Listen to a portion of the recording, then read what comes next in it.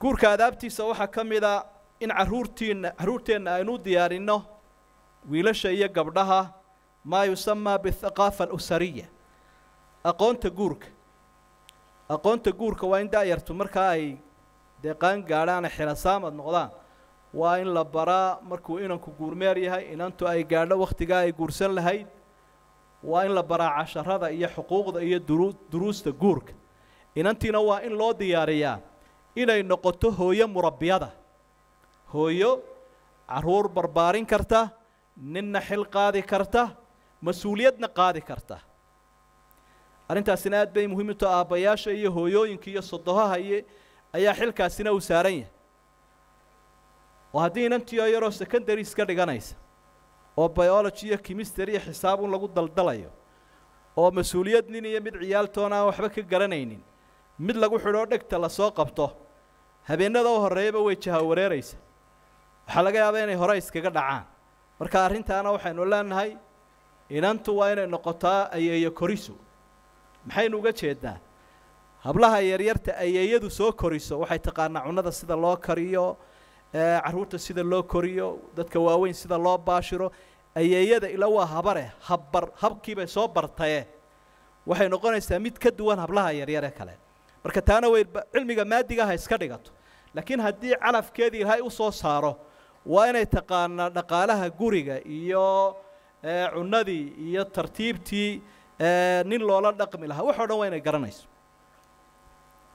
Waxaa ka mid a aadaabta guurka oo qodobka toddobaadeen xusi lahaa ah taqliilu takaaliif almaadiya hayri laasima waxyaabaha lagu xidhayo guurka ee dhaqaalaha iyo maalka ah in laga daayo. Mushkiladdaasi da-yar badan oo guursan lahayd ayaa ay guurka ka hor joogtaa oo laga yaabaa qaarkood wiilasha inay hoosta ka leeyihiin waa runtaa sheekhow waanay hadlayno anigaa u hadlayo o aamusan yihiin. Waa runtaa. Marka inankii la weydiiyo meher tobannaan kun oo dollara iyo lacag intaasoo kun oo dollaroo gabaatiya iyo intaasoo yarada iyo xeedhyihii sodohdu ay la soo fadhiday iyo dahabkii iyo filinjarkii. Bal horta intaan guri iyo wax kaleba la gaadhin. Wuxuu odhanayaa intaa ma haysid haddaanad intaa hayninna ha ku ceeboobine halkaaga iska fadhi. Mid kalena shaydaan baaba duufsan karaba. Markaa qadiyaddaasi aad baynu u adkaynaynaa waxa lagama maarmaanka ahay waxa weeye meherkii inanta iyo biilkii masaariiftii. Labadaasaa muhiima. Markaad nusuusta iyo hadyigii nebiga sala allahu calayh wasalam iyo asxaabta u noqotona labadaasunbaa la isdul taagi jiray. Oo ninkii nebiga u yimi yidhi gabadhii markaa nebigu ka cudur daartay aniga ii guuri. Dee wuxuu ihi meheruun buu weydiiyey. Waxaan kalaynu sheegaynaa meesha kuma jirin. Marka arrintaasina aad bay muhiim u tahay. Wiilka guursanayaa marnaba ma gaadhayo sayd cali. Inanta la guursanayaana marnaba ma gaadhayso faadimo rasuul sala allahu calayhi wasalam jaabir ibnu cabdilaahi baa waxa uu leeyahay guurka aan arkee ugu yaab badnaa wuxuu ahaa guurkii ina faadimo faadimo rasuul oo cali ibnu abi aalib markii uu guursanayey casuumaddu waxay ahayd in timira hiyo sabiib. Alaabta inanta lagu soo gelbiyeyna waxay ahayd caw yaroo la kala bixiyo iyo iyo barkimo iidaam ahoo ama harag oo maqaar ahoo lagu soo liif lagu soo cabbeeyey. Haddaad odhan lahayd duruuf baa haysayoo wakhtigaa xaaladdu sidan may ahayn sida hablaha boqorrada berigaa loo gelbiyo nebigu wax badan wuu raadin lahaa. Laakiin ummaddu tacliiminaya tababaraya. Adigoo heli karaya dhaqaale si dadka kale ay kugu daydaan. Waa in guurka la fududeeya dhallinyarada loo fududeeyaa. Waxa fara faraha badana lagu xidhayana laga daaya. Aadaabta waxaa ka mid ah in intaa kadib waa muqadamaadkii weli ku jirnaa maqaasidii zawaajka maynu gaadhin. Waxa weeyaan in khidba ay timaado markaa codsigii loo qadimo inantii iyo waalidkeedii oo fasax la weydiiyaayoo qasab aanu meesha imanin. Rasuulku wuxuu leeyahy sala allahu calayhi wasalam xadiidkii saxiixa ah. Laa tunkaxu layimu xataa tusta'mar walaa tunkaxu lbikru xataa tusta'dan garoobta ama carmasha lama guurin karo jeeroy amarka bixisay fasax bixiso inanta da-da yareen xaasiro soo marina iyadana idan baa la weydiinaya idankeedu waa maxay bay yidhahdeen asxaabtu? Idankeedu waa sidee? Markaa wuxu uhi waa inay iska aamusto waa ta u hoosaysa. Ama waa inay hadashaa ay tidhaahdaa aqbalay ama waa inay aamustaa ilaa way xishoonaysaa. Qodobkaa qalad bay ka fahmeen dadka qaarkood. Marka waxay idhahdaan carmashu iyadaa isguurisa. Garoobtu iyadaa isguurisa bay idhahdaan xadiiskan baa laga yaaba inuu ku qalloocday intanuu nebigu kala saaray. Gabadh iyadu isguurin kartaa ma jirto saynu xagga dambe ku xusi doonno laakiin intay ku kala duwan yihiin waxa weeye carmashuna dumaashiina waa ka midune waa inay si cad u sheegtaa inay qofkan guurkiisa raalli ka tahay. Inantuna way aamusi kartaa idankeedaasina wuu geli nooca uu noqon karaa. Sidaa uu nebigu inoo sheegay sala allahu calayhi wasalam waxyaabaha aadaabta waxaa ka mida walaalayaal dad muslimiina baynu nahay dhaqankeennu waa islaam wixii sharcigu diiday waa inaynu ka daynaa guurka. Haddii la isaroosanayo iyo haddii la ismehersanayo iyo haddii mucaamalo la samaynayo guurka waxaynu aragnaa wax badan oo gaalada dhaqankoodaa baynu soo wareeg soo waaridnaa fargallo la gashaday iyo bahalo dhaadheeroo la jiidayo oo lacag badani ay ku baxdo oo xaawalaydu ay xambaarsan yihiin oo la yidhaahdo waa taajajkii iyo qolyaha wadaadadiina way sii yar farsameen taaj wadaadood bay iyaguna yidhaahdeen waa kiio si un si kale un loo yaro dhigay. Qolaa ka sii macaashaysa. Iyo keegagii iyo waxyaabo badan oo kaniisaduba leedahay oo dhaqamadii shisheeyaha ah ayaa kharash badan inaga baxaa oo mukhaalafaadna sharcigana ah oo sharcigiina khilaafsan. Dhaqaala burburna ah. Marka waynu ka daynaynaa wixii shisheeyuhu ay leeyihiin gurka waa ka daynaynaa. Macaasiday ka mid noqonaysa. Nebiguna wuu ka digay markuu marar badan leeyahay khaalifu nimanka yuhuudda nasaarada khilaafa man tashabaha biqowmin fa huwa minhum. Waxaynu leenahay culimadaa fatwada weydiinaysaan waxaaya waxaa sharcigu miyuu miyuu ogol yahay weliba hablihiina koofaar koofeerada haysta iyo saaloonnada iyo goobaha qurxinta. Maxaa sharcigu ogol yahay? Aroosadaha loo samayn karaa ama wiilkiiyo gabadha loo samayn karaa? Maxaanse la samayn karin? Wixii xalaalo waa inaad samaysaan barakadu saasay ku jirtaa. Aadaabta waxaa ka mid a istikhaara oo had iyo jeer marka aad la doonayo in tallaabo muhiima la qaado oo fuuturka iyo mustaqbalka la xidhiidha wuxuu nebigeenu inoo jideeyey sala allahu calayhi wasalam salaatulistikhaara istikhaaradaasoo macnaheedu iyo laba ragcadood inta oo aad tukato wiil iyo gabadh labadoodaba inuu qofkii mar ku markaa xaaladda iyadaa hadduu qabuul helo ku tallaabsado labada ragcadood. Kadib ducadiibuu akhriyayaa xisnu muslimka iyo kutubahoo dhami ay kuu qorayeen kadibna markaasuu go'aanka qaadanaya.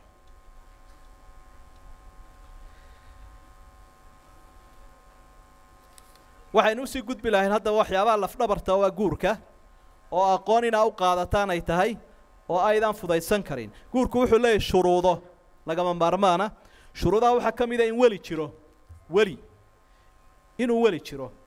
Weligu waxa weeye inanta mas'uulkeedii aabbaheed buu noqon karaa awowgeed aabbo walaalaheed sidii ay isaga u kala dhowaayeen dadkii dhaxalku. Marka ha ka dulboodina dhallinyaroy weliga. Inantu way ismeherinaysaa iyo wadaad baa meherinaya cid bay wakiilan kartaa maya. Haddaanay iyadiiba ismeherin karaynin cid ma wakiilan karayso. Marka taana waan adkayn lahayn nebiguna calayhi salaatu wasalaam xadiidkii saxiixa buu inoogu sheegay markii uhi laa nikaaxa ilaa biwaliy. Guur ansaxayaa ma jiro jeeroo la helo weli. Xadiidkii kalena waxaa gabadh kasta oo guursato weli la'aantii guurkeedu waa baail waa baail waa baail saddex jeer buu ku celceliyey nebigu calayhi salaatu wasalaam marka qadiyadda iska hubsada iyay qabash iyo medmadow gelin qofka xaqan leh lama weydaarin karo. Waxaa dhacda mararka qaarkood malaha dee miyigay ka jiri jirtee magaalooyinkana inay timaadaa laga yaabaaye ehelkeediioo inanta halkan jooga in lala baxsado. Magaalo kaloo fog la geeyo la yidhaahdo waa la masaafeeyey. Halkaasaa lagu meherinayaa waxba kama ansaxayaan guurka noocaasa guur xalaalo maaha lagumana talogeli karo.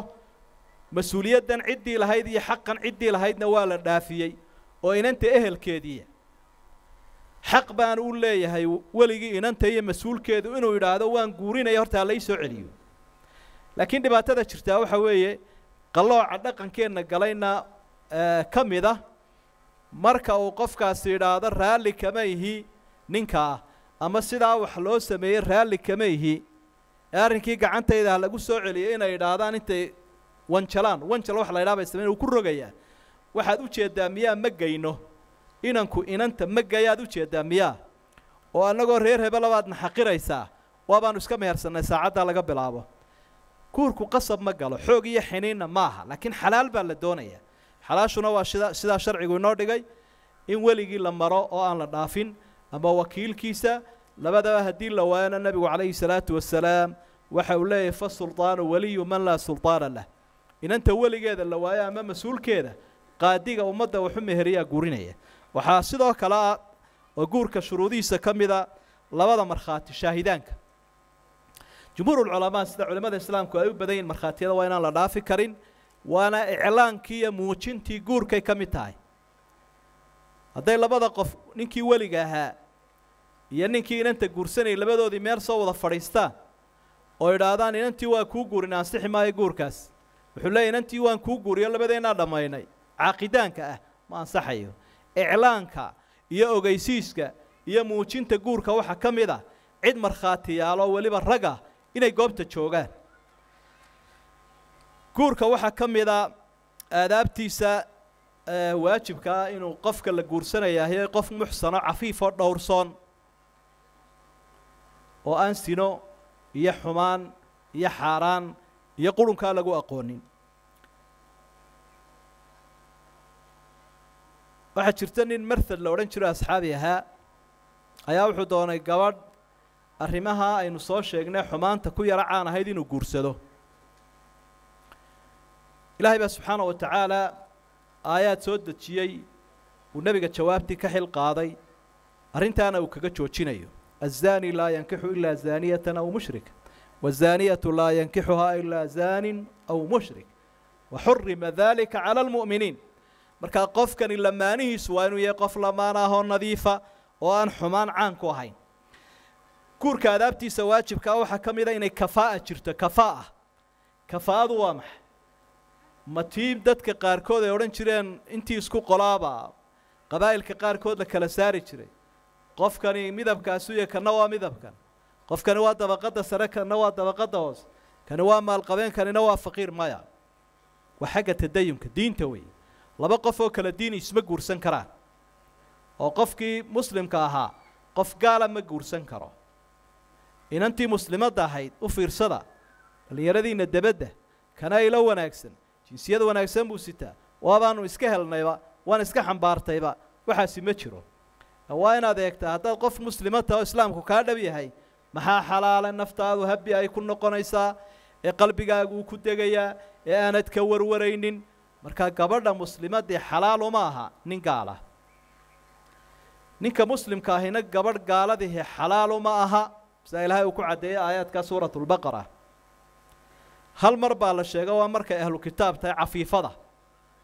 Yahuuddi iyo nasaaraday ka tirsan tahay waanay dhowrsoontay labadaa shardi sida loo helaa maanta way adagiinba in la helo tu cafiifada oo gaalada ka mid a hadda way iska adag tahayba oo ilaa intay labaatan jir ama siddeed iyo toban jir gaadhaysay gabadh weyn noqoto aan ninba soo aragba oo alaa agabkeedu u asturan yuu xidhxidhan yaho gaaladaa in la helaa hadda way adagta mid ahlulkitaab oo kitaabku ka dhabiya in la helaana way adagta sidaa daraaddeed qofka muslimka ahi waxa badan ehelkiisii muslimaadka ahaa inuu kuwaa guursado ku gaabsado ayaa u fiican. Guurku waxa uu leeyahy wax la yidhaahdo siiqa erayo. Heshiiskan isagaa waa heshiiskii qaaliga ahaa lagama dulboodi karo. Laydhun in la isu shido greenah oo la idhaahdo waynu isla garannay haata mar haddaynu isku afgarannay inaynu isguursanno waynoo dhantay waxaa laga maarmaana ereyo la isdhaafsanayo oo caqadka iyo heshiiska lagu saxeexayo oo caddaynaya raalli noqoshaa labada dhinac. Ninkii nebigu u guurinaya wuxu uhi zawajtukaha bimaa macaka min alqur'aan calaa macna alxadiid. Qur'aanka aad taqaanaabaan kuugu guuriyey inantaa iyadaa inaad adaguna sii barto.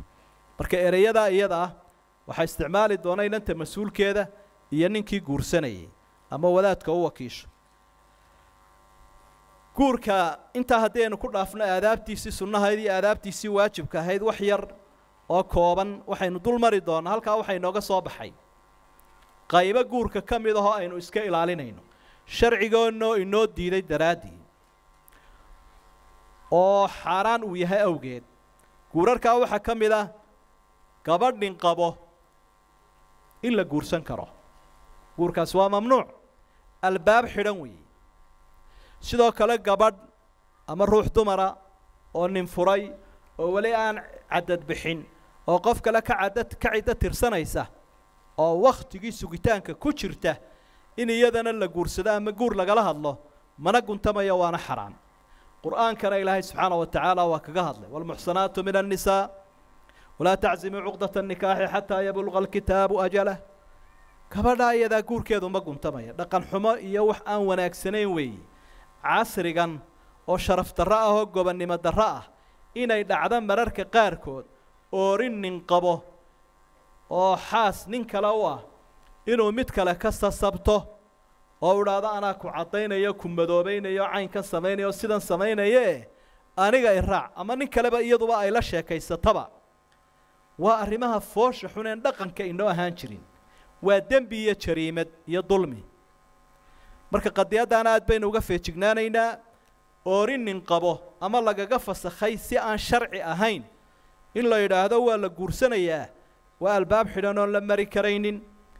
Guurarka la diiday waxaa ka mida kuwa aynu soo sheegnay guur aan weli lahayn ama markhaati lahayn. Waxaa ka mida guurkii bilikraah qasabka ahaa. Inantii baa dhegta la qabanaya waalidkeedii baa waxa la leey waanu kuugu ducaynee dusha ku qaada ninkan isaga ah. Taasina sax ma aha nebiguna calayhi salaatu wasalaam inantii u soo ashkatootay ikhtiyaar buu siiyey. Soomaaliduna waxay dhaha reer gabadh baa kaa raacda. Ooridan unbaa kaa raacayse reerkii maad guursanina gabadh baad guursatay. Gabadhu waa inay qanacsan tahay waa inay raalli ku tahay waa inay raaxad dareemayso. Marka waalidku marka cidi soo weydiisata inanta waa inuu kala tashado waa inuu weydiiyo. Hadday raalli ka tahayna u guuriyo haddii ay diiddana aanu ku durqiin ku dirqiin isagoo doonaya dunyo iyo maal. Sodohahna ha la ogaado.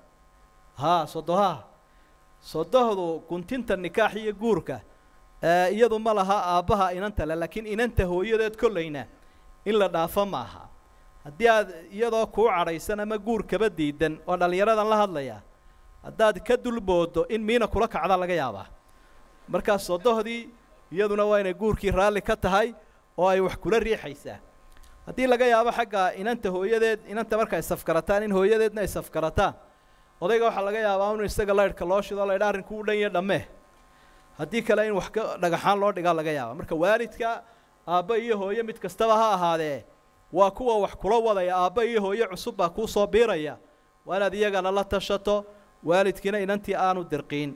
Guurkii waxaa ka mida gaalada si aynu hore u soo sheegnay ruuxii dumarkayda aan dhowrsoonayn zawaajulmuxaramaat ayaa ka mida inanta ehelkaaga ah ee abtirsiima idinka dhexayso sidaa suuratu nisaa ilaahay uu kaga warramay toddoba dumarka ka mida dhallinyaroy ayaa guurkooda uu xaaraan yaho tafsiirkooda idinka dhegaysan doontaan suuratu nisaa iyo toddobo xagga nuugmada ah oo gabadha aad ama ruuxa dumarkeed naaskeeda jaqday gacaltooyaa idin dhex martay sa aayaadka ilaahay uu ku cadcadaynayo waa soo koobkoobaynaaye markaa nuugmada iyo naaskoo la jaqana gacaltooyadaasoo kalea ku timaada oo iyadana waxaa ku xaaraan noqonaya guurkii.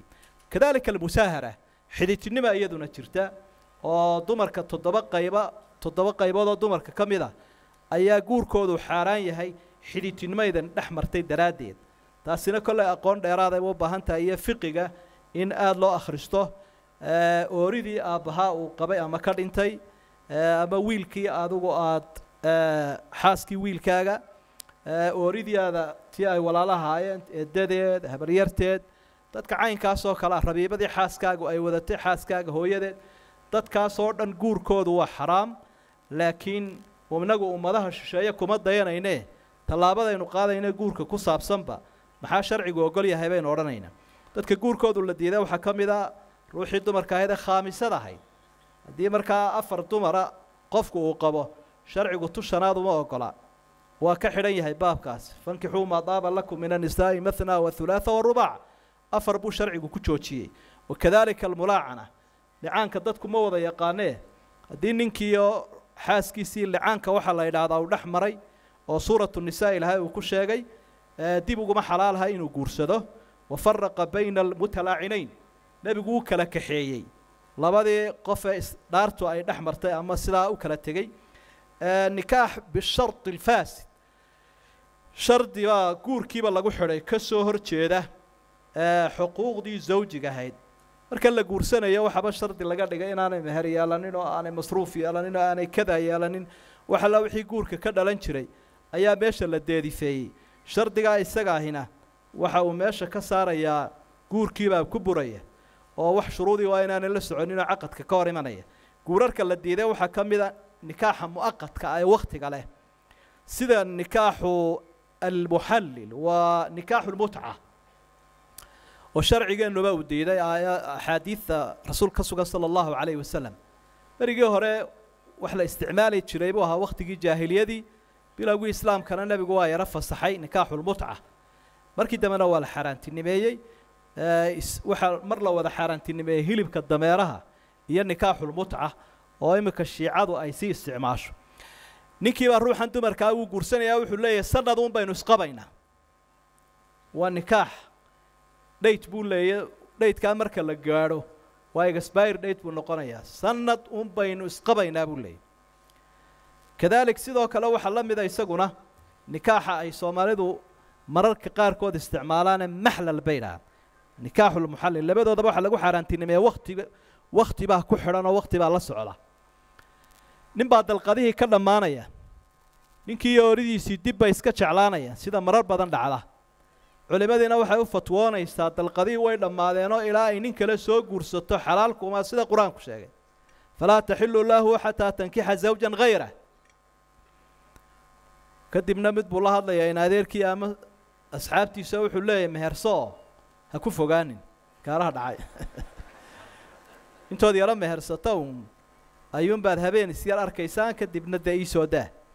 Nebigu uu ka digay sala allahu calayhi wasalam arrintaa iyadaa inay xaaraan tahayna waa laga faa'iidaysanaya xadiidkaas rasuulka ka sugan sala allahu calayhi wasalam atays almustacaar buu nebigu ku tilmaamay orgac la soo ammaanaystay qofka noocaas oo kale u dhaqmaya. Waxaa jiri jiray wakhtiyadii jaahiliyada nikaaxyo wax nikaax lagu sheegay oo carabtu ay isticmaali jireen. Laga yaabo gaaladuna hadda inay isticmaasho waxaa ka mid ah nikaaxulbedel waa labadii ninoo labadii dumarha isdhaafsanayaan. Anigu taada waan ka helay maadii bedeli sidan dharka loo kala bedeshoo kale. Marka aanu iimaan jirin akhlaaq akhlaaq la'aan baa meeshii ka soo baxaysa. Kiiro la'aan baa ka soo baxaysa. Iyo qofkii inaanu hinaaso yeelanin wixii xun oo dhami uula fududaado.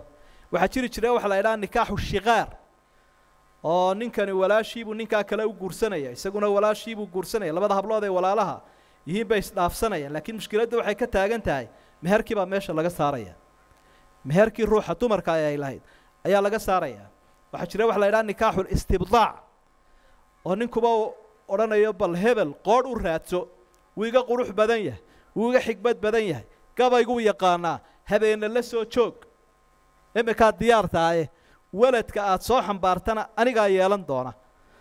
Jaahiliyadu way noocyo badan tahay. Haddana maxaa la marayaa ugu dambayntii? Dee raggaa isguursan kara iyo dumar baa isguursan karaa halkaasee la marayaa tii hore haddii lala yaabsanaa waa ka sii dartayba.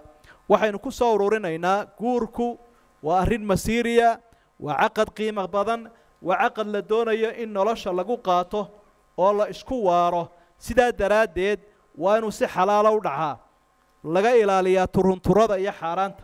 Kaa mashruucaana aynu raacno kaa mukhaalifka ahee mamnuucaana aynu ka feejignaano. Dhallinyaroy waa la guursadaa un arrintu maahee diinta islaamku maxay tidhi ee waxay igu xalaaloobayaan? Aada uga fikira wahada ma aquuluhu waastaqfiru allah